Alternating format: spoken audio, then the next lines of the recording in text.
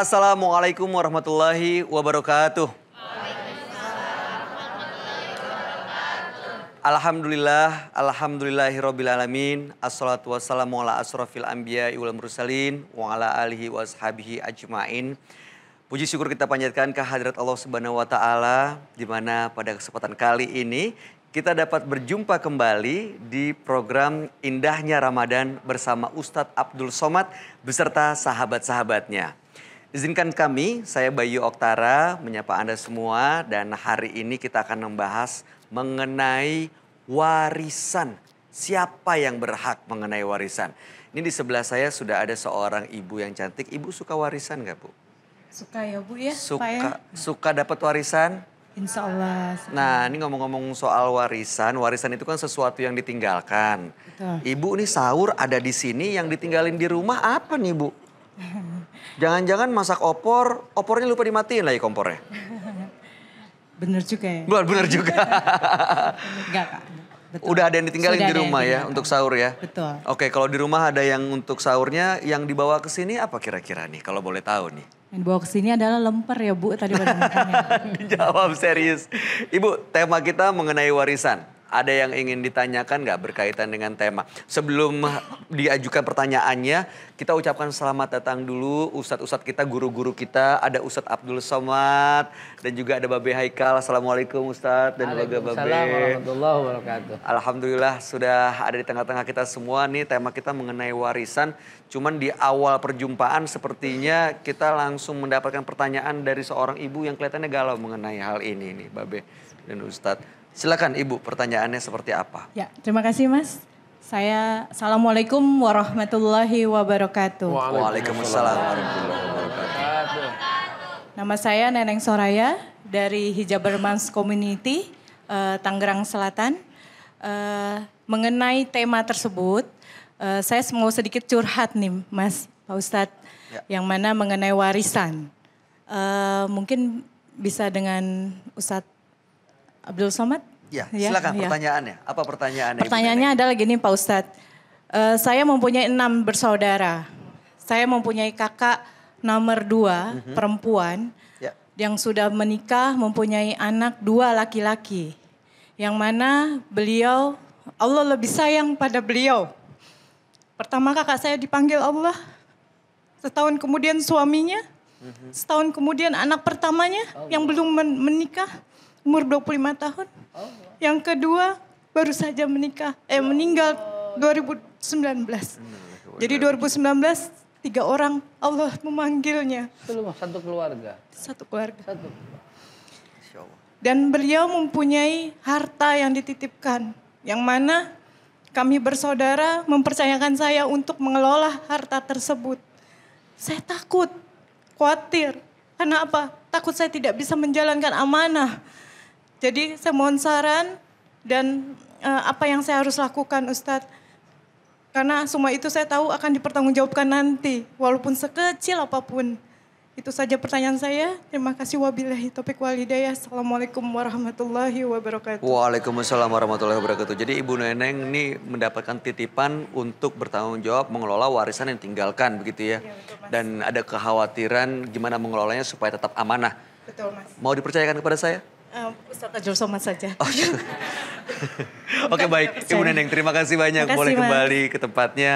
Nah, Ustadz ini ada mengenai pertanyaan dititipi warisan, tapi ya ada kekhawatiran tidak amanah bagaimana mengelolanya sesuai dengan syariat. Nah, mungkin kita mulai dari Ustadz Abdul Somad mohon berkenan menjawab pertanyaan dari kegelisahan Ibu Neneng. Mohon izin Babe. La haula wala quwata illa billah. Tuan Guru. Baik.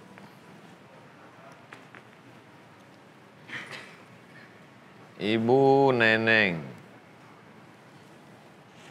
Ibu Neneng punya saudara kandung sebanyak enam orang. Dua, tiga, empat, lima, enam. Kemudian salah satu dari saudari ibu neneng ini seorang perempuan punya seorang suami menikah dengan laki-laki yaitu Bapak Edward E, Bapak E. Hasil pernikahan saudari Ibu Neneng dengan Bapak E lahirlah seorang anak laki-laki, seorang anak. Ternyata ditakdirkan Allah, Bapak E meninggal, istrinya meninggal, lalu anaknya juga meninggal. Semestinya ketika ibu nomor 6 meninggal, saudari ibu neneng ketika meninggal, maka suami, harta saudari ibu neneng tadi dibagi. Suaminya mendapat seperdelapan karena ada anak. Lalu kemudian sisanya kalau anaknya laki-laki maka semua habis asobah untuk anak. Tapi ternyata karena dalam setahun itu mungkin menunggu, lalu kemudian tidak dibagi, maka sekarang harta ini ada harta saudari ibu neneng dan saudari bapak E. Sementara ahli waris ibunya, bapak mereka, orang tua mereka sudah tidak ada, maka harta bapak E dibagikan kepada saudara-saudaranya yang ada di kampung halaman. Saudara bapak E punya harta dibagikan kepada saudara-saudaranya. Sedangkan ibu, saudari ibu neneng punya harta, hartanya dibagikan kepada lima ahli waris. Satu, dua, tiga, empat, lima. Cara pembagiannya bagaimana? Lizzakari mislu hazil unsayain. Lizzakari mislu hazil unsayain. Saudara laki-laki dua kali bagian perempuan. Laki-laki, jadi kalau laki-laki dapat 50, maka yang perempuan dapat 25. Dia bagi. Karena ahli waris yang lain tak ada. Ayah tak ada, ibu tak ada, anak tak ada, hanya tunggal. Nah, bagaimana dengan ini kan harta mereka ini berdua nih. Harta mereka ini berdua. Oleh sebab itu maka dibagi dulu siapa yang duluan meninggal. Suami duluan meninggal. Maka istri mendapat harta seperdelapan karena ada anak. Seperdelapan dari total harta suami dibagi dulu menjadi milik dia. Kemudian ada harta bawaan dia. Apakah dia misalnya perempuan wanita karir atau dia dapat harta warisan. Jadi ada harta bawaan yang milik dia pribadi, ada harta warisan dari almarhum suami. Sisanya yang punya suami dibagikan kepada keluarga bapak almarhum Edward. Lalu sisa ini dibagikan semua. Setelah dibagikan semua harta milik masing-masing, habis. Tapi ternyata keluarga ini adalah keluarga yang mampu. Lalu mereka mengatakan, harta yang kami dapat ini, harta almarhum, Lalu kita kumpulkan bersama, kita buat sekolah tahfiz Al-Quran. Ibu neneng saja yang mengaturnya sebagai koordinatornya. Baru bisa dilakukan. Tapi kalau harta ini bulat-bulat diambil tanpa dibagi. Wa lam yahkum bima anzalallah faulaika humul kafirun. Siapa yang tidak menggunakan hukum Allah, maka dia termasuk orang yang kafir. La ta'tadu, jangan kamu melampau batas. Banyak orang berpikiran kalau untuk hukum solat saya ikut Islam. Kalau untuk puasa saya ikut Islam. Kalau untuk zakat saya ikut Islam. Tapi kalau untuk harta warisan saya bisa atur sendiri. Kita disuruh ya ayyuhalladzina amanu dukhulu, masuklah kamu ke dalam agama Islam fisilmi kafah. Dan di antara yang paling detail dalam Al-Qur'an adalah masalah har masalah harta. Walakum nisfu ma taraka azwajukum illam yakul lahunna walad. Kamu hai para suami dapat setengah dari harta istrimu kalau tidak ada anak. Fa in kana lahunna waladun falakumur rubu'u. Kalau ternyata ada anak maka kamu dapat seperempat. Walahunna rubu' illam yakul lakum walad. Istri mendapat seperempat kalau ada anak, tidak ada anak. Fa in kana lakum waladun falahunna thumunu. Kalau ada anak maka kamu mendapat seperlapan. Anak laki-laki dapat dua kali bagian anak perempuan. Yusikumullahu fi auladikum anak-anak kamu lidzakari mithlu hazil unsayain.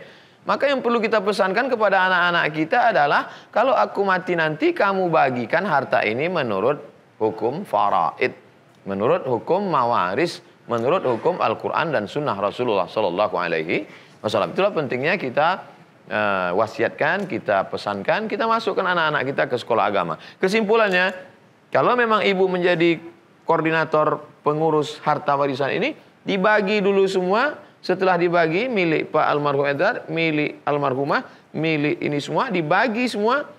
Kemudian mereka menyerahkan, barulah boleh. Kalau tidak, maka ini masih harta musyarakah, harta berkongsi, harta bersama. Mudah-mudahan Allah menyelamatkan kita dari makan haram insyaallah. Amin, insya Allah. Terima kasih Ustadz Abdul Somad. Dan mudah-mudahan bisa menjawab pertanyaan dari Ibu Neneng ya, semakin jelas. Dan memang mengenai masalah harta yang ditinggalkan oleh seseorang yang meninggal, ini sering kali menjadi sengketa. Nah, nanti kita akan lebih uh, detail lagi mendapatkan penjelasan dan juga paparan dalam tausiah yang akan disampaikan oleh Ustadz Abdul Somad. Tentunya hanya di sini, di indahnya Ramadan bersama Ustadz Abdul Somad beserta sahabat-sahabatnya.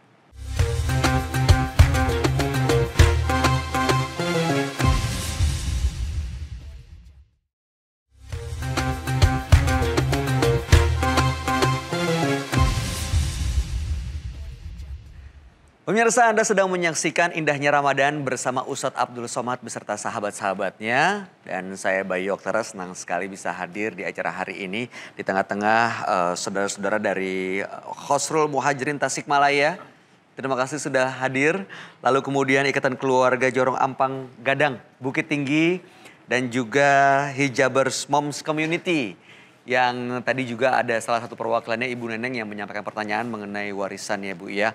Nah, untuk mengetahui lebih jauh lagi mengenai e, warisan ini siapa saja yang berhak dan bagaimana aturannya sesuai dengan syariat ajaran agama Islam. Kita akan dengarkan paparan lebih jauh mengenai tema kita dari Ustadz Abdul Somad. Mohon berikan penjelasan. Bismillahirrahmanirrahim. Kalau kita lihat yang paling mendetail penjelasan dalam Al-Quran itu masalah warta. Ayat paling panjang dalam Al-Quran Al-Baqarah 282. Ya ayyuhalladzina amanu ay orang beriman, idza tadayantum bidainin kalau kamu menjalin transaksi ila ajalin musamma hutang piutang sampai batas waktu tertentu. Faktubuh, tulislah. Wal yaktub bainakum katibun bil adli. Hendaklah adalah salah satu orang penulis yang adil. adil. Mesti ada seorang penulis dan adil. Wala yabakatibun ayaktuba kama allamahullah. Jangan sampai dia enggan tidak mau menulis dengan ilmunya itu yang sudah diajarkan Allah dan Rasulullah sallallahu alaihi wasallam. Wastashhidu syahidani min rijalikum ada dua orang saksi. Illa mikuna rajulaini kalau tidak ada orang saksi laki-laki, farajulun satu orang laki-laki, wa mar'atani dua orang perempuan. Antadillah ihdahuma fatudzakkir ihdahuma al-ukhra. Kalau salah satunya ini enggak benar akan diluruskan oleh satu lagi. Sampai sedetail itu masalah harta. Sedangkan masalah sholat zuhur empat rakaat, sholat subuh dua rakaat, pakai kunut apa enggak, sholat ada sir ada jahar, itu cukup dijelaskan. Sallu kamara itu muni usalli, sholatlah kamu sebagaimana aku sholat. Begitu juga dengan masalah faraid harta. Walakum nisfu ma taraka azwajukum illam yakul lahunna walad. Hai para suami, kamu dapat setengah harta istrimu kalau istrimu meninggal. Dapat setengah apa? Senang? Ilam yakul lagunna walad. Kalau tidak ada anak. Fainkana lagunna waladun. Kalau ada anak. Falakumur rubu'u. Kamu dapat seperempat. Walahunna rubu'u ilam yakul lakum walad. Kamu dapat seperempat. Jadi kalau mereka meninggalkan satu miliar. Kamu dapat seperempat. 250 juta. Fainkana lahukum waladun falahunna thumunu. Tapi kalau ternyata ada anak. Maka dapat seperdelapan. Anak laki-laki ada anak perempuan. Yusikumullah fi auladikum. Allah memberikan pesan kepada kamu lidzakari mithlu hauzil unsayain. Untuk anak laki-laki dapat dua kali bagian anak perempuan. Oleh sebab itu arisan keluarga. Arisan keluarga selama ini mengkaji masalah sabar. Kita bersama keluarga ini marilah sabar. Arisan bulan depan sabar. Begitu harta warisan kacau ngamuk. Gak sabar. Gak sabar. Oleh sebab itu sabar ini setelah dibagi harta warisan. Setelah dikaji masalah pembagian harta warisan. Undang ustadz guru besar, guru-guru kita yang pakar tentang masalah harta warisan. Karena orang sekarang jangankan cerita harta warisan, cerita mati aja udah. Cerita, jangan jangan cerita mati. Mama mama kalau papa mati kan jangan jangan jangan. jangan. Padahal mati ini sesuatu yang pasti terjadi. Aina ma yudrikumul mautu di mana pun kamu berada yudrikumul mautu. Aina mata kuno di mana pun kamu berada yudrikumul mautu kematian pasti akan datang menghampiri kamu walau kuntum fi burujim musyayyadah Walaupun kamu berada di dalam peti yang amat sangat kokoh dan kuat. Dulu orang kafir musyrik, dia buat peti, dia paku, dia masuk ke dalam. Jika ditanya, kenapa buat ini? Supaya malaikat maut nggak masuk ke dalam. Artinya apa? Masalah harta warisan ini kita mesti betul-betul sampaikan kepada anak-anak menantu cucu kita. Di sebagian tempat berapa banyak anak angkat kadang lebih berkuasa daripada saudara kandung. Ada seorang suami dengan istri menikah, tidak ada anak, ada anak angkat. Maka kalau suami istri tidak ada anak, meninggal dunia, yang mendapatkan harta warisannya adalah saudara kandungnya. Ayah tidak ada, ibu tidak ada, saudara kandung. Tapi kemudian dia berikan. Semua harta warisanku aku berikan kepada anakku tunggal semata wayang. Anak angkatku ini. Adapun saudara-saudaraku jangan beri, sendal jepitnya pun jangan. Oleh sebab itu maka saudara-saudara mesti sayang kepada saudara, jaga mereka. Kenapa? Kalau mereka meninggal dunia, kita akan mendapatkan harta warisannya menurut Islam. Kenapa laki-laki itu bisa dapat dua kali bagian? Lalu orang mengatakan Islam ini tidak adil. Kenapa perempuan dapat setengah? Laki-laki bisa dapat tunggal 100, perempuan dapat 50. Laki-laki menjadi kepala rumah tangga. Dia yang memberikan nafkah.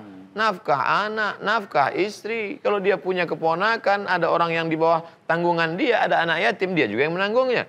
Laki-laki yang menanggung biaya pernikahan. Laki-laki akan terhormat, akan berwibawa kalau dia orang yang bisa menghidupi keluarganya. Ya ayyuhalladzina amanu hai para suami hai para laki-laki ku anfusakum jaga dirimu wa ahlikum. Istrimu, anakmu, keluargamu naro dari api neraka. Tanggung jawab dia luar biasa. Sekarang banyak perempuan mencari nafkah akibat apa? Karena laki-laki lemah, tidak punya kemampuan ekonomi. Man istata'a minkumul ba'ah. Kalau ada di antara kamu wahai laki-laki sudah mampu menikah, falyatazawwaj. Menikahlah. Fa innahu aghaddu lil basar. Karena dengan menikah itu menundukkan pandangan, raddul basar wa ahsanu lil farji menjaga kemaluan. Menikah mesti ada zawajatuka. Aku nikahkan engkau dengan anakku dengan mahar sebentuk cincin emas tunai. Ada biaya pernikahannya. Ada mempelai laki-laki. Ada wali. Ada dua orang saksi yang adil. Ada mahar, ada ijab, ada kabul. Ada mahar di situ, sodak.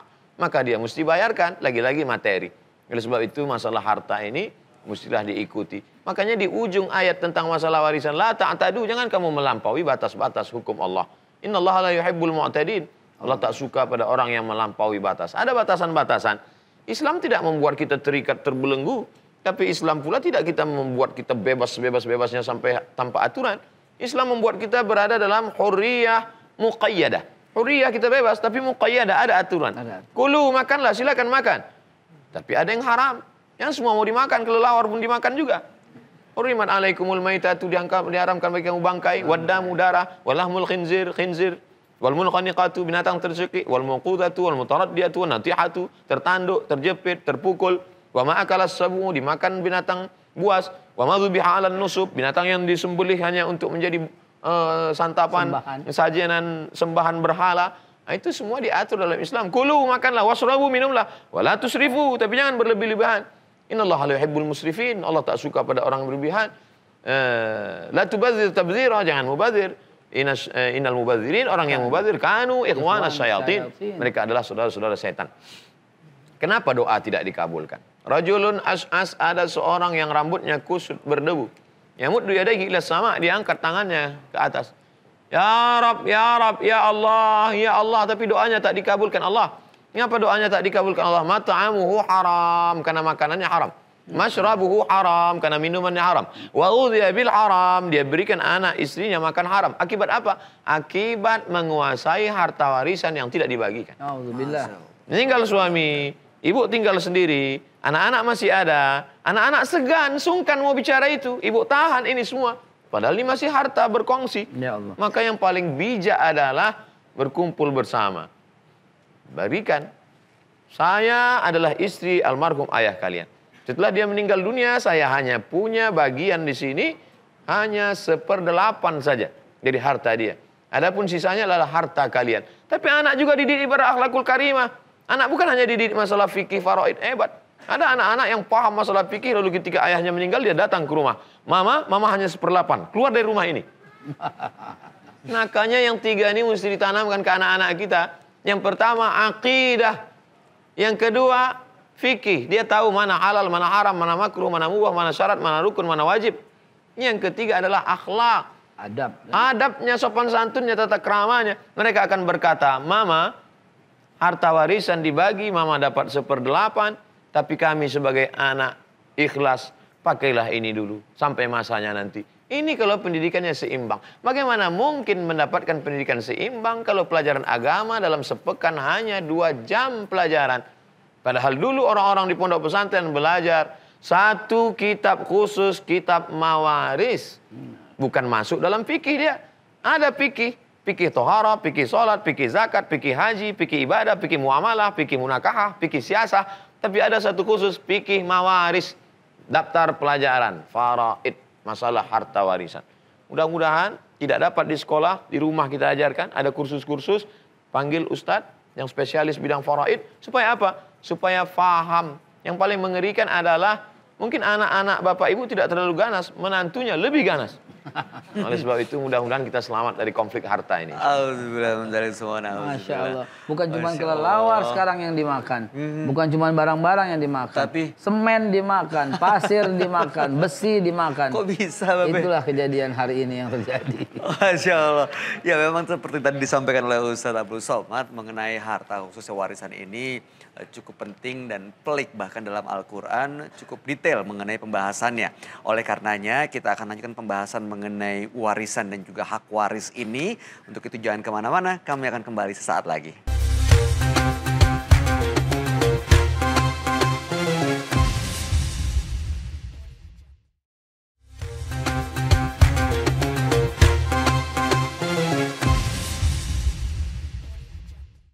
Pemirsa Anda sedang menyaksikan indahnya Ramadan bersama Ustadz Abdul Somad beserta sahabat-sahabatnya. Dan tema kita pada pagi hari ini adalah mengenai warisan dan hak warisnya. Tadi ada beberapa hal yang saya catat yaitu mengenai hak waris bahwa laki-laki memang mendapatkan hak waris lebih besar karena memang tanggung jawab dan perannya dalam keluarga dan masyarakat lebih besar. Lalu kemudian juga eh, apabila ada yang mengabaikan hukum Allah mengenai aturan warisan ini, salah satu yang bisa didapatkan adalah doa yang tidak dikabulkan. Auzubillah min dzalik summa nauzubillah. Nah, kita eh, akan berikan kesempatan kepada jamaah yang hadir di sini. Namun saya punya pertanyaan dulu nih sebelumnya nih Ibu Bapak, nggak apa-apa ya. Saya punya pertanyaan. Saya mau nanya nih. Ustadz dan juga Bapak Haikal. Eh, apabila ada orang yang memang membuat wasiat memberikan harta yang ditinggalkannya kepada orang lain, katakanlah anak angkat atau keponakan atau siapa pun yang sebenarnya dalam hak, dalam hukum Islam ada orang lain yang lebih berhak.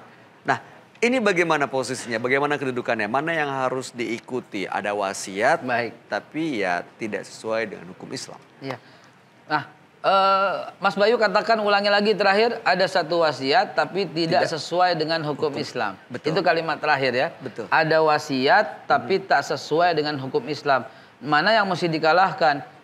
Bahkan saya mau luaskan, ada orang yang berkata ayat konstitusi itu di atas daripada ayat suci. Loh, loh, loh, loh, loh, loh. Ayat suci lebih tinggi di atas segala-galanya. Dan wasiat tadi gugur apabila bertentangan dengan ayat suci.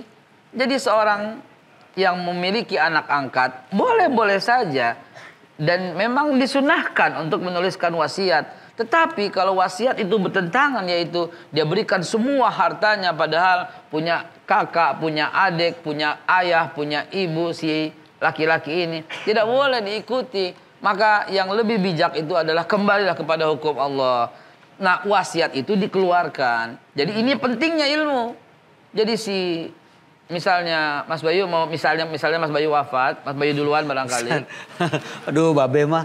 Ya Kan deh, misalnya, Boleh. misalnya. Emang nggak ada yang lain begitu, Be? ya. Misalnya, Oke. antum punya anak angkat, ya, dan antum mau tuliskan, ya tuliskanlah sebisa mungkin, se se sewajar mungkin, Mhm. agar tidak terjadi konflik di kemudian hari.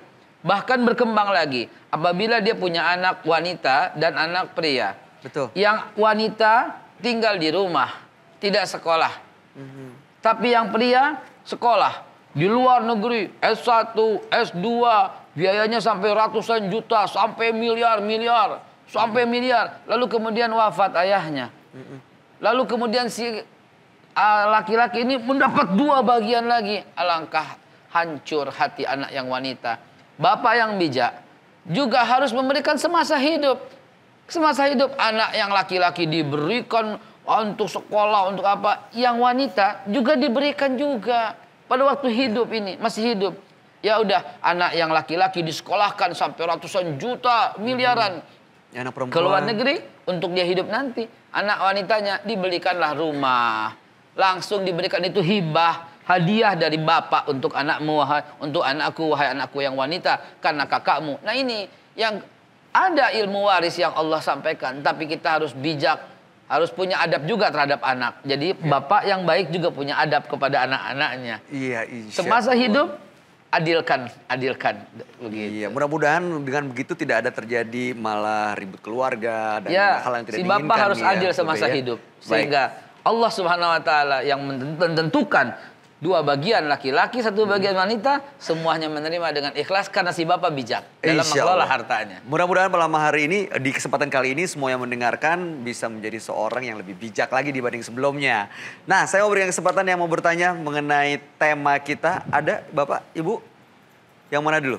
Sebentar ya Pak ya. Ibu silakan pertanyaannya. Assalamualaikum warahmatullahi wabarakatuh. Waalaikumsalam. Waalaikumsalam warahmatullahi wabarakatuh. Nama saya Ayu, saya dari Ikatan Keluarga Jorong Ampang Gadang Bukit Tinggi. Yang saya mau tanyakan Pak Ustadz, apakah berlaku wasiat orang tua yang sebelum meninggal dia telah menuliskan bagian-bagian untuk anak-anaknya? Itu saja, terima kasih. Assalamualaikum warahmatullahi Baik, wabarakatuh. Waalaikumsalam warahmatullahi wabarakatuh. Pertanyaan kita tampung dulu. Pertanyaan kedua ada di sebelah sini. Sebelah sini dulu ya, bapaknya. Atau lebih dekat ke sana, ibu boleh silakan. Boleh dioper mikrofonnya, boleh dibantu. Silakan ibu sebutkan namanya dan apa pertanyaannya. Bismillahirrahmanirrahim. Assalamualaikum warahmatullahi wabarakatuh. Waalaikumsalam. Waalaikumsalam warahmatullahi wabarakatuh. Yang kami hormati Bapak Kiai eh, Ustadz Abdul Samad dan Ba- Babe Haikal.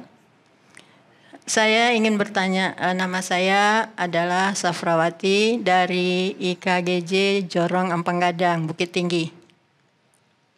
Saya ingin bertanya, eh, sekarang pada keluarga kita ini kan bekerjanya berdua. Istri bekerja, suami juga bekerja. Betul. Malah kadang-kadang ada yang istrinya bekerja, suaminya tidak bekerja. Itu nanti kalau suaminya meninggal, apakah itu istrinya dapat juga seperdelapan kalau ada anak? Ya tentu kan nanti bagian eh, apa namanya itu du- uang eh, harta dari istri itu dicampur ke dalam apa bagaimana itu dicampur bersama apa bagaimana? Iya, baik, baik. Pembagiannya gimana begitu ya ibu iya, ya? bagiannya bagaimana? Ya padahal eh, istrinya, juga bekerja. bekerja. Oh, Ah, ah. Oke, Kadang-kadang malah suaminya tidak bekerja. Iya. Itu gimana? baik. Tapi ada warisan yang tinggalkan begitu ya? Iya, ada warisan. Oke, baik. Ada anak-anak juga. Ada, ada Oke. anak gitu. Ada lagi yang ditanyakan? Udah, udah selesai. Itu aja ya Iya, pertanyaannya. aja. Iya. Baik, ini pertanyaan pertama. Assalamualaikum warahmatullahi wabarakatuh. Waalaikumsalam warahmatullahi wabarakatuh. Nah, ada dua pertanyaan nih, Ustadz Abdul Somad dan juga Babe Haikal. Yang pertama mengenai wasiat, yang kedua ini kalau istri juga bekerja, apakah tetap seperdelapan? Padahal juga ada anak-anak yang mungkin lebih berhak.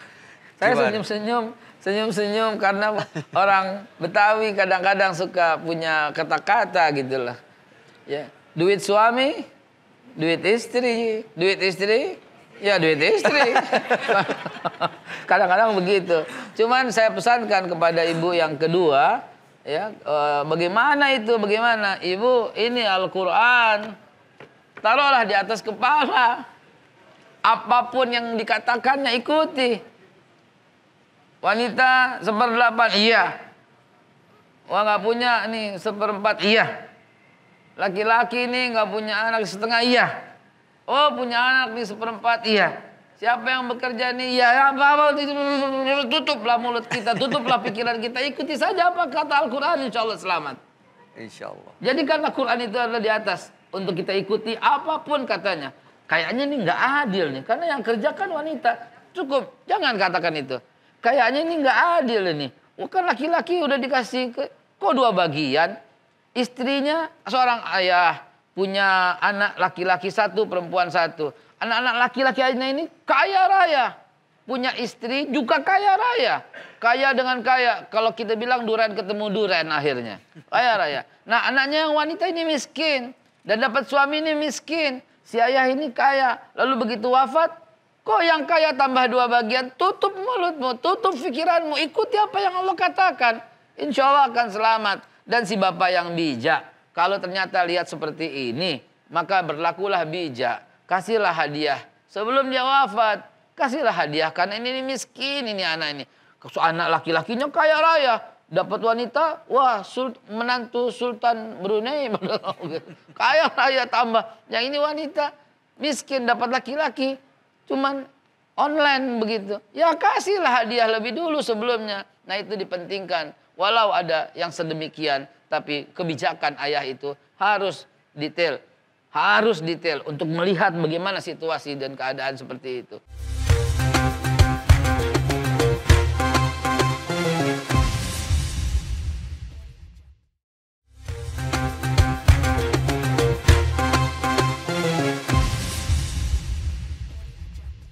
Pemirsa terima kasih Anda masih bersama kami di Indahnya Ramadan bersama Ustadz Abdul Somad beserta sahabat-sahabatnya dan harapan kami tentunya apa yang kita ikuti dan dengarkan hari ini bisa menambah ibadah dan juga berkah serta pahala dalam puasa Ramadan kita hari ini.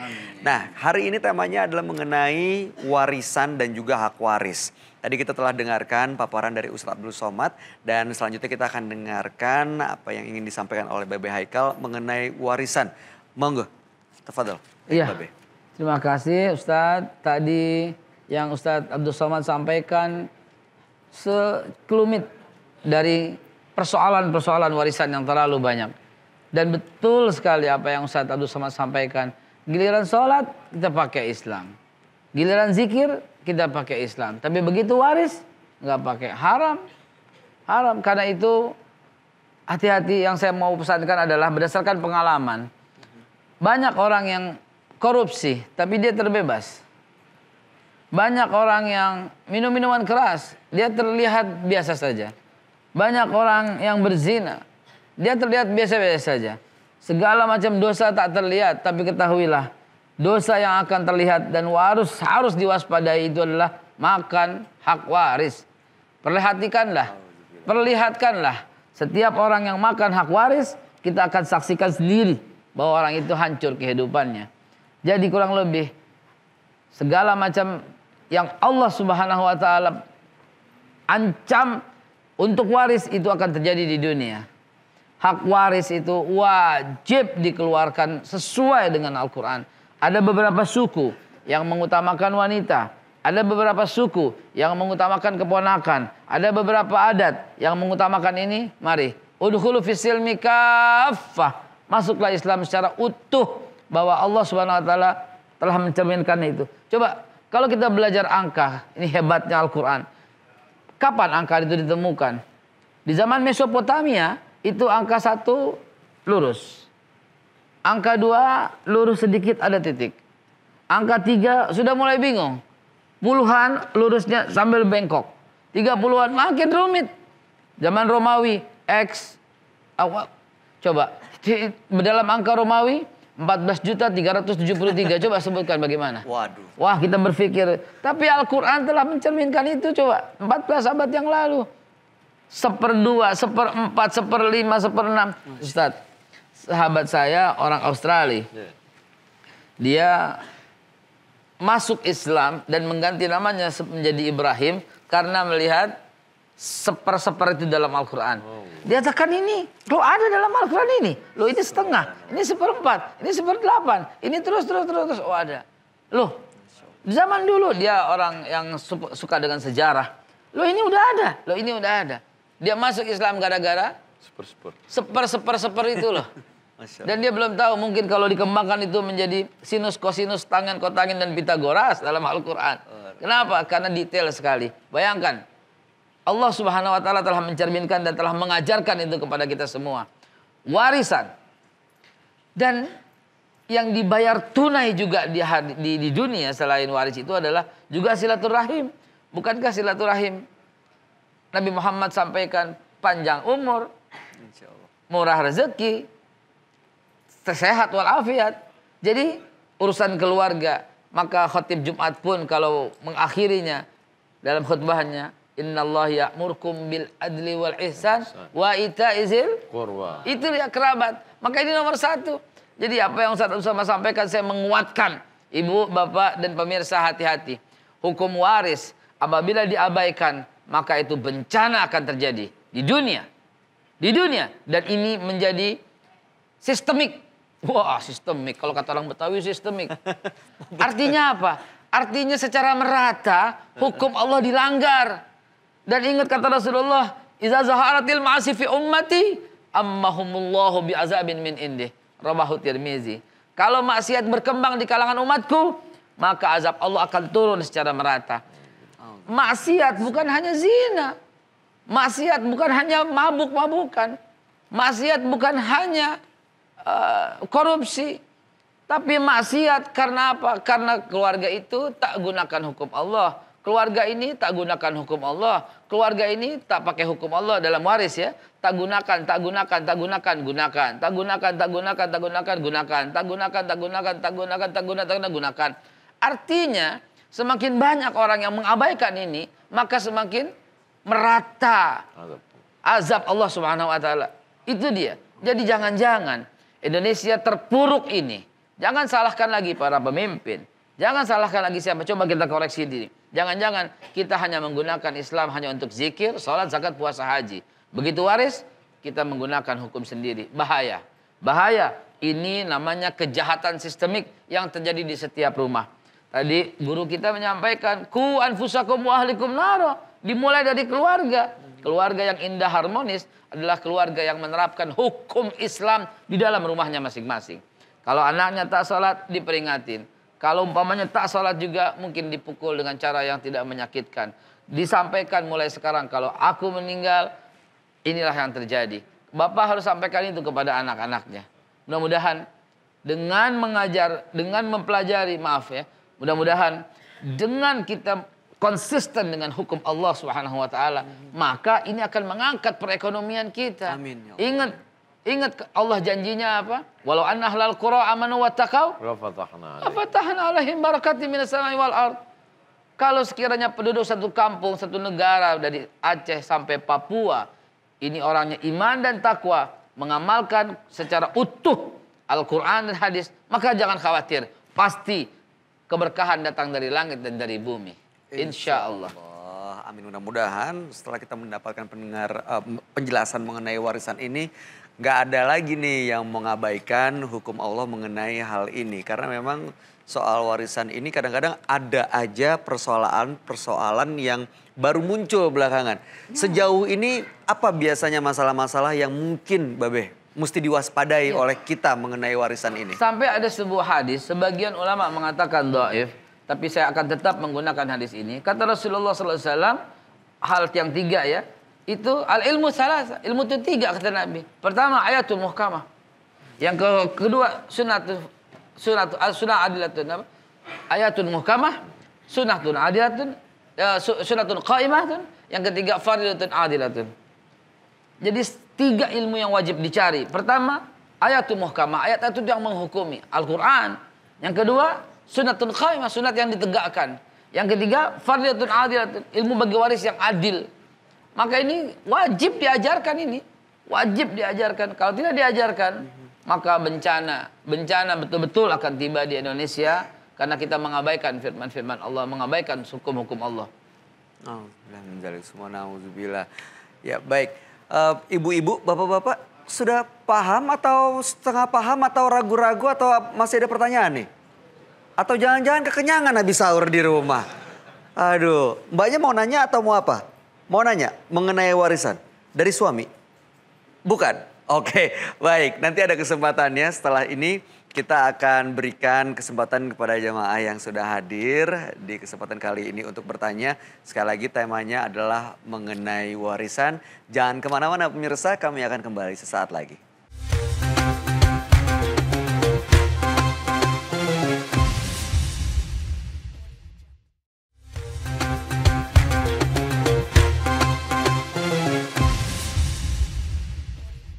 Begitu juga pertanyaan yang kedua sama dengan jawaban dan saya malu ini menjawab ini karena disuruh sama Mas Bayu. Sebenarnya ini guru saya yang harus menjawab. Saya mohon izin untuk ditambahkan dengan guru saya yang mulia. Tafadhal Ustaz. Ya. Ustaz Somad. La wasiyata li waris. Tidak boleh ada wasiat untuk ahli waris. Karena ahli waris sudah ditetapkan pembagiannya oleh Al-Quran. Allah. Yang menetap pembagian untuk ahli waris itu Allah, bukan kita. Jadi kalau kita mengatakan, berarti kita sudah mengamandemen hukum Allah dan kita pakai, aku lebih tahu daripada engkau Allah. Tak ada. Jadi kita hanya katakan ke anak-anak kita, kalau aku mati, bagilah harta ini menurut hukum Allah. Faraid. Faraid, hukum waris. Yang lagi ada.